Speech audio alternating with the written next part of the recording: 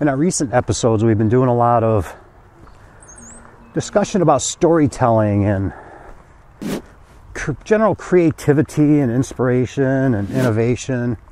And in our last episode, we chatted with Judith Hayner over at the Art Museum, and she had a few things to say about storytelling that didn't make the previous episode. So we're going to put them in this episode, and that's what we're going to make this one about. It's the Grand Trunk launch ramp, boat ramp. Train tracks used to go down there and set up on a car ferry, a train car ferry. Now, in previous episodes, you've heard me talk about storytelling, and storytelling and still photography is is a strange animal. Traditionally, in storytelling, you think of something like reading a book or watching a movie where you have a plot, you have a situation, you have characters in a situation. And then there is art without any moving parts, such as sculpture and painting and graphic design where all of these mediums or media start with a blank canvas. Having a blank canvas is such a huge advantage compared to photography because you can conceptualize that story in advance and then lay it all out. It's all under your control. That's what makes photography all the more difficult is that we have to use what's already there. Now, you may think, well, we can make the set, we can make the setting, we can pose our models and people. Uh, that's styling, that's stylizing. Stylists do that. When a stylist is involved in your photography, the stylist has their art, and you as a photographer have your art. So this kind of plays into what I had said last episode about where do we draw the line between photography and duplicating? Where is the art and photography if it's merely pointing the camera at something and clicking the picture, pulling the trigger? I think it's safe to say that in this episode, we're going to be presenting more questions than really receiving answers. I think it's a necessity here. We're going to be opening up a can of worms, I think. It needs to be explored. In our last episode, we were chatting with Judith Hayner the executive director at the Muskegon Museum of Art, and we were sitting in the current exhibition called the Michigan Regional. If you're in Muskegon, I recommend checking it out. It's here now through August 4th or something like that. I'll put the date right here for you. And uh, let's uh, let's get back to chatting with Judy. Where are we sitting?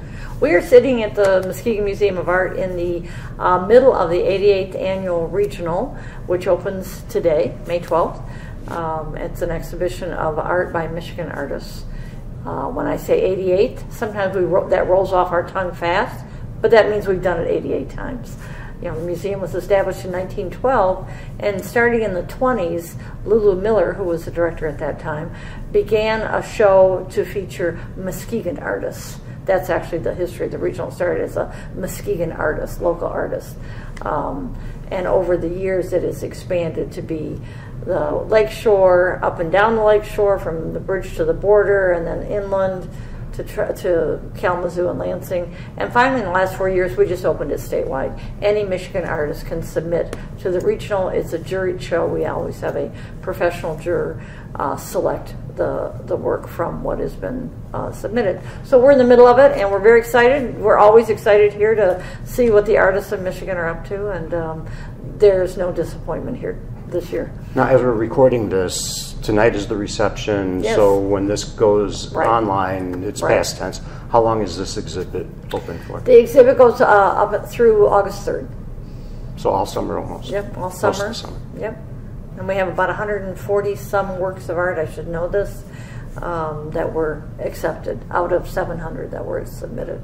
It's a very competitive show, and when artists are, are accepted, it's a, it's a resume item.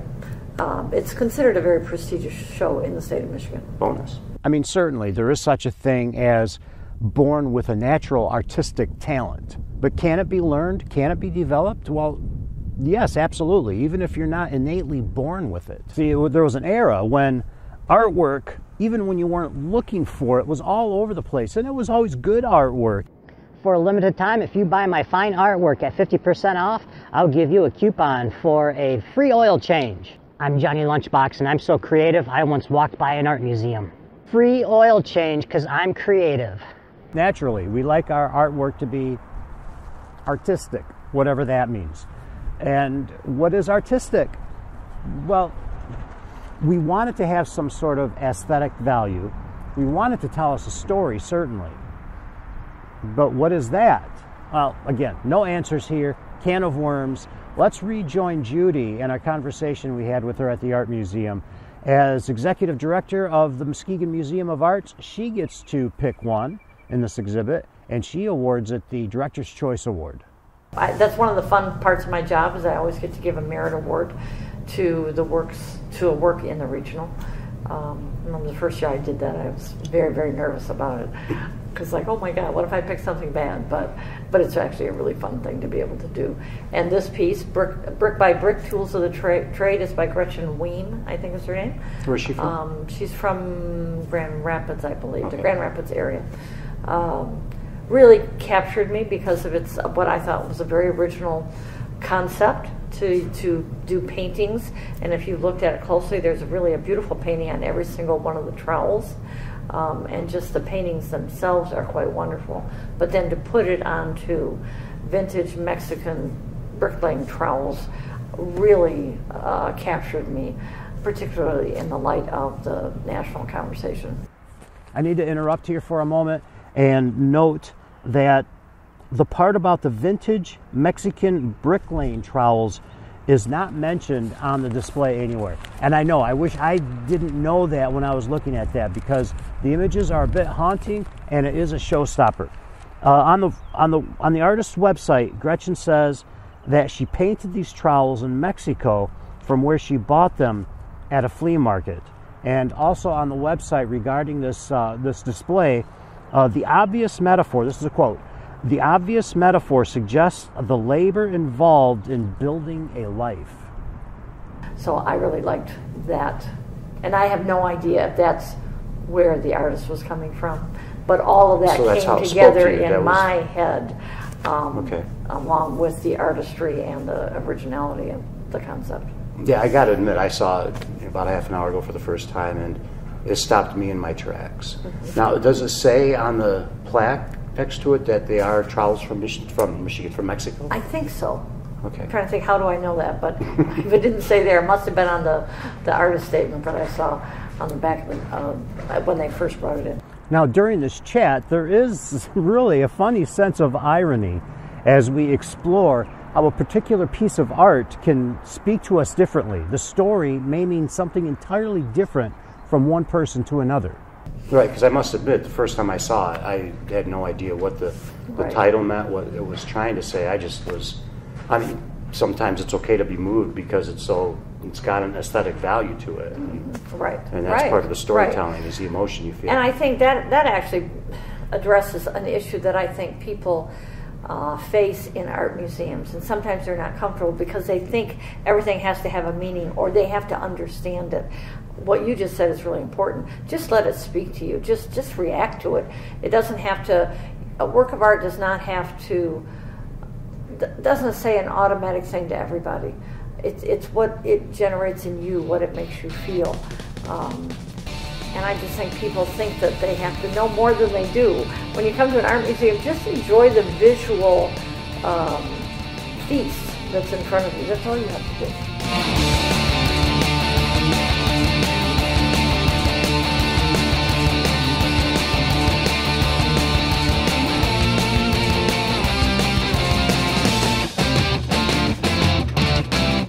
Are we learning anything here? Are we answering any questions? I believe we are. I think the big one here is don't seek out the story, don't seek out the aesthetics, don't seek out the artisticness of a work of art. Let the work of art speak to you. I mean, if you're on a quest, if you want to seek something, get a Where's Waldo book. That's what we're learning as far as art appreciation goes. But what about as photographers as we make our work? Uh, it's almost been a recurring theme in this series of videos that I'm uploading here. Uh, be deliberate with where you set up about your scene. What kind of a story can you tell by being at one angle versus another angle? Let's rejoin Judy for a couple more minutes and then homework. The Louvre has its Mona Lisa. What is your Mona Lisa here? Oh, nice question. Um, we have one of the things about this museum that makes it so unique is that small museum in a small town. When we were built in 1912, we were the first building in America built in a city this size of 30,000 or less expressly to hold art. I love that story. Um, so the fact that this art museum exists in Muskegon in this county of 170,000 people is really quite unique. What's also unique is the quality of the collection. The works of art that are in this collection are really stunning. When people visit here from anywhere, and if they have any art experience, they're always surprised at what they're seeing on our walls. So our Mona Lisa. Um, that's The like picking. That sounds like. Well, the fact that we exist at all. Okay. You know, in in what is a small, blue collar, not without its challenges, town for the last century, and yet we're here 104 years later. Um, I think it says so much about this community. But in terms of the artworks, you're asking me to pick my favorite kid.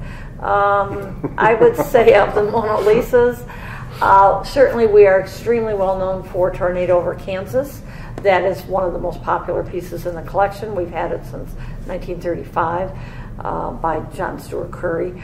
Uh, Edward Hopper New York Restaurant is a phenomenal painting, also been uh, in this institution since the 30s. Uh, some of our best work came in during the depressive depression years. Um, we are the only museum in Michigan that has a painting by Edward Hopper. We're kind of proud of that. Um, those two, my personal favorites. I love the Hughie Lee-Smith uh, painting that we have in the main gallery.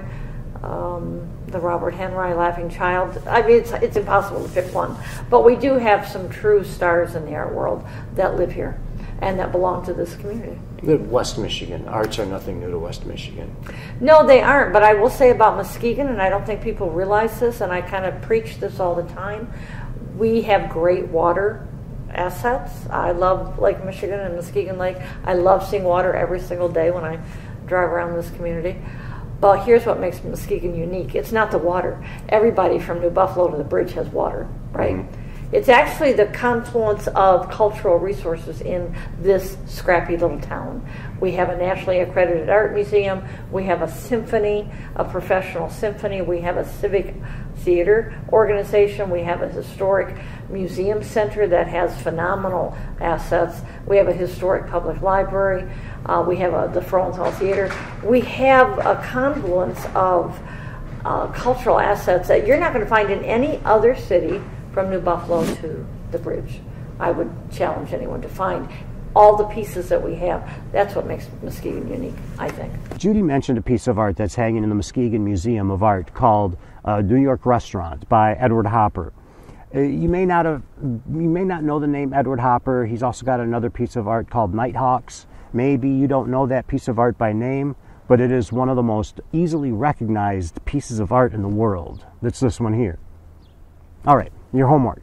Let's go to Edward Hopper's website. I'll link it down in the description below and go through his paintings. Note how we're looking at the objects at the at walls and buildings. Are we looking at them directly or are we looking at them at an angle? Are we seeing the corners of a room? Are we seeing the corners of buildings?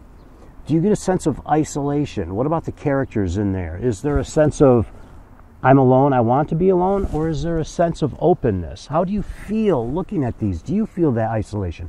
And also, do you feel voyeuristic? Like, you find yourself looking at the art through windows? That's how that's done. I'm Jon with Picture Michigan. Keep pulling that trigger.